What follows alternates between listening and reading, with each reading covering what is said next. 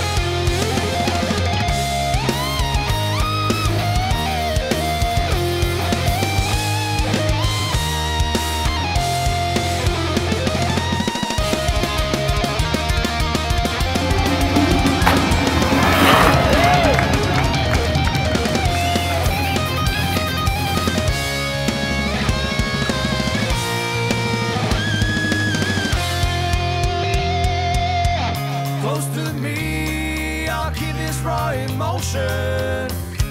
We will.